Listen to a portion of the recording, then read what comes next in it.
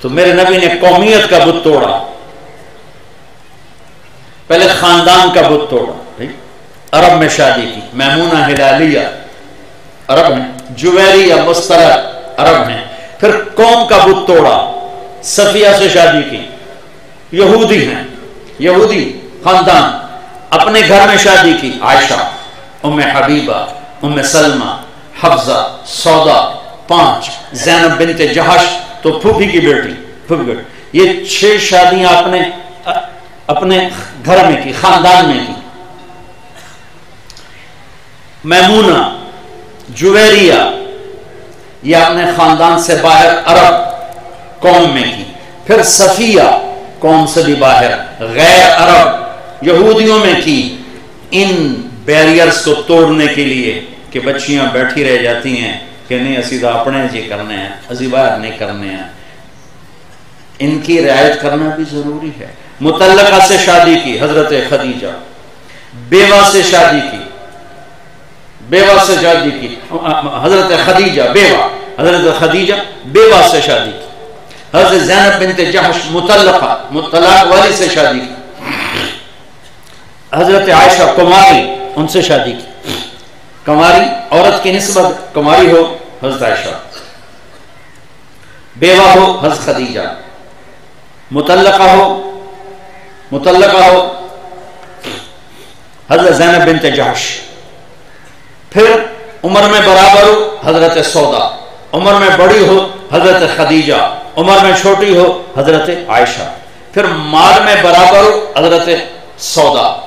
مال میں زیادہ ہو حضرت خدیجہ۔ مال میں کم ہو حضرت ام سلمہ، حضرت حضرت صفیہ، حضرت جویریہ، جو باندی سے شادی میں آئی ہیں اور آپ کے گھر میں، آپ کے حرم میں داخل ہوئی ہیں۔ جتنی عورت کی نسبتیں میں نے ساری آپ کو گنوا دی۔ ہر نسبت میں گھر آباد کر کے زندگی گزارنے کا طریقہ بتلایا اور اعلان فرمایا، ما تزوجت وما زوجت الا بوحی من السماء، نزل به جبریل میں نے جہاں شادی کی، میں نے جہاں بیٹی دی، پہلے آسمان سے فرشتہ وحی لے کر آیا پھر میں نے قدم اٹھائے ماں باپ کے لیے سبق ہے کہ علی پیغام لے کر آئے ہیں فاطمہ کا۔ ابو بکر آئے، ان کا۔ عمر آئے، ان کا۔ علی آئے۔ تو چپ ہو کے بیٹھ گئے۔ پہلے دو حضرات نے اظہار کیا جی ہم رشتہ لینا چاہتے ہیں۔ حضرت علی آئے، چپ۔ آپ کو تو پتہ تھا کیوں آیا۔ علی، کیسے؟ چپ۔ اچھا فاطمہ کا رشتہ۔ ہاں۔ آپ نے کہا انشاءاللہ انشاءاللہ۔ پہلے میں نے حدیث کیا سنائی ہے کہ آسمان سے وہی آئی، پھر میں نے قدم اٹھایا۔ وہی آ چکی ہے اور آپ کہہ رہے ہیں انشاءاللہ۔ انشاءاللہ کیوں کہا؟ ابھی حضرت فاطمہ سے نہیں پوچھا تھا۔ ابھی حضرت فاطمہ سے نہیں پوچھا تھا۔ ان سے پوچھنا باقی تھا۔ جبریل بھی آیا، اللہ کی وحی بھی آئی۔ اور کیا خیال ہے؟ ہماری تو آج کی بیٹیاں بیچاری چپ کر کے چلی جاتی ہیں، جس کے ساتھ باندھ دو چپ کر کے چلی جاتی ہیں۔ اکثر، اب جہاں زیادہ تھوڑا ماڈرن آگے سسٹم تو وہاں کوئی اس قسم کا چلتا ہے سلسلہ، لیکن ہماری بچیاں تو آج بھی مظلوم ہیں۔ جہاں اس کی ڈولی اترتی، وہیں سے اس کا جنازہ اٹھتا ہے۔ اور جس کے ساتھ مرضی باندھ دو ہمارے بڑے اچھے پرانے دوست ذمہ دارہ خاندانی دوستی تو ایک خاتون کہنے لگی، مولانا صاحب، میرے ماں باپ نے میرا، میری منگنی کر دی، چلو ٹھیک ہے، ماں پیو کی تھی۔ اتنا تو ویک لیں دے کوئی بندے کا پتر ہوتا ایک شرابی نال میں بن چڑیا اج تھی میری روندیا روندیا ٹپ گئی۔ اج تھی میری روندیا روندیا ٹپ گئی۔ ایک شرابی نال میں بن چڑیا تو میں ماں پیو کی عزت رکھنے واسطے اپنے آپ اندر ہی مار چڑیا یہ تو ہمارے چاروں طرف کے واقعات ہیں۔ مشرق کی بیٹی آج بھی سہ جاتی ہے۔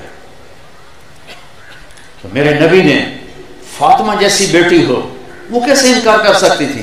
آپ گھر تشریف لے گئے۔ فاطمہ، علی کا رشتہ آیا ہے۔ ہاں کر دوں۔ اللہ دوسری آپشن ہی کوئی نہیں۔ اوپر سے وہی آ چکی ہے۔ یہیں علی کے ساتھ ہونا ہے۔ پھر میرے نبی کی بیٹی جنت کی عورتوں کی سردار۔ آپ کا کیا خیال ہے؟ وہ کہتے ہیں، نہیں، ابا، میں نے نہیں کرنی۔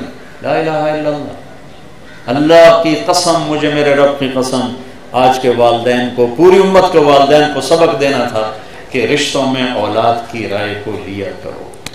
ان کو جانوروں کی طرح نہیں، یہ تھے مرضی بن چھڑیا۔ جب حضرت فاطمہ نے ہاں کی، تو آپ اسی وقت واپس آئے۔ علی، لوگوں کو جمع کرو۔ ایک دم مسجد بھر گئی اب ممبر پر کھڑے ہوئے۔ کہ لوگوں مجھے میرے اللہ کا فرمان آیا ہے۔ کہ میں علی کا نکاح فاطمہ کے ساتھ کروں تو آپ کی اکٹھی تعلیمات ہیں، ہماری یہ حدود ہیں، ہم نہ بے حیا ہیں، نہ بے غیرت اپنی نظروں کو جھکانا سیکھو۔